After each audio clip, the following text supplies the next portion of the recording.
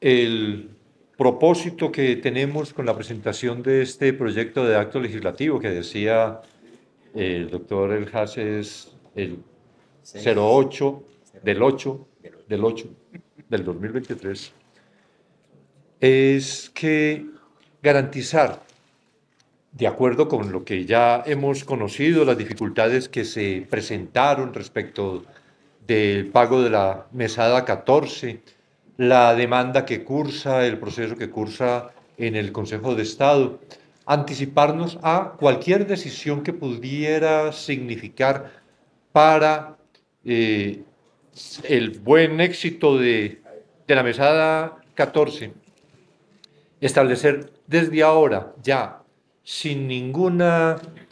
eh, ambigüedad, sin dar lugar a interpretación, que quede de manera expresa en el texto constitucional cómo se propone adicionar un parágrafo al artículo 48 de la Constitución en el sentido de que los miembros de la fuerza pública en goce de asignación de retiro, pensión o sus beneficiarios mantienen el derecho a la mesada 14. Esto implicaría entonces, aprobado este eh, proyecto de acto legislativo, que quedaría por fuera de cualquier discusión este derecho de miembros de fuerza pública con asignación de retiro, pensión o sus beneficiarios. Adicionalmente, eh, presentamos un proyecto de ley que tiene que ver, este, para presentarlo ante la Honorable Cámara de Representantes, que tiene que ver de manera principal con la bonificación para los soldados regulares e infantes de Marina, eh, en este momento es posible reconocer hasta el 50% del salario mínimo legal mensual vigente a título de bonificación a quienes prestan el servicio militar obligatorio. Ya con la adición aprobada por el Congreso de la República eh, empieza a pagarse el 50% máximo permitido, ahora está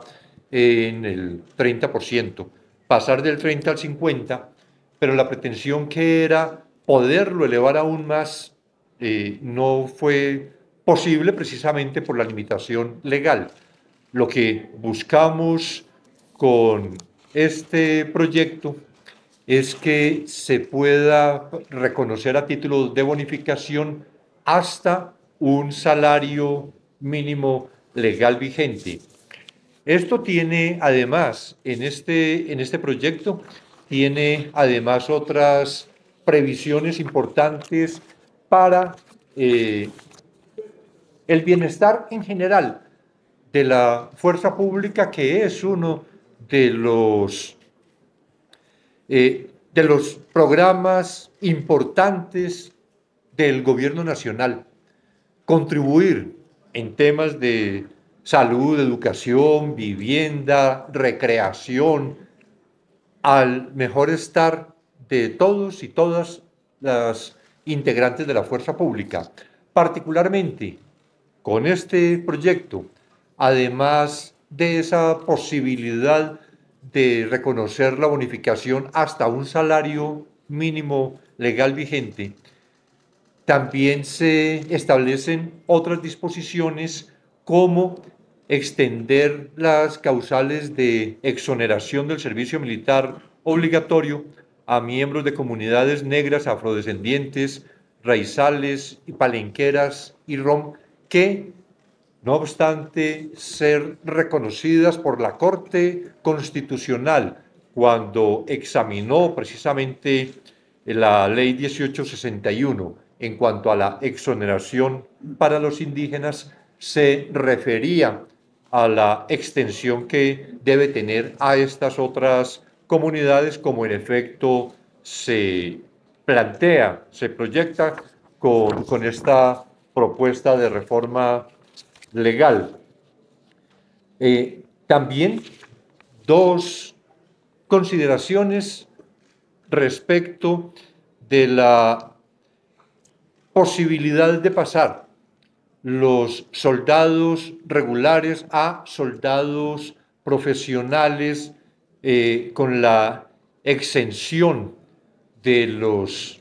gastos, emolumentos que significa pasar eh, al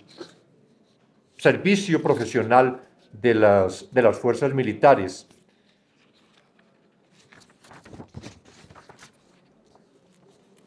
El ingreso entonces a, la, a las escuelas, el ingreso gratuito, la exoneración que estaba prevista en el 30%, poderla extender al 100%.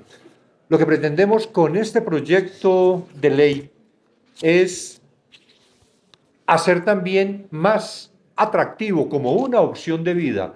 para jóvenes en nuestro país este de la carrera militar que es además lo que igualmente pretendemos con todas las medidas que tienen que ver con el incremento del bienestar de los integrantes de fuerza pública, que sea entonces eh, una opción de vida, que sea una oportunidad laboral real, que tenga unos ingresos adecuados, que tenga unas garantías para sus condiciones de vida mucho más favorables que pretendemos con medidas como esta que se presenta para la aprobación del Congreso de la República puedan generar también un incremento en esta, eh, digamos, vocación hacia el servicio militar que los jóvenes de nuestro país pudieran tener. Estos son entonces los dos proyectos que presentamos en la mañana de hoy.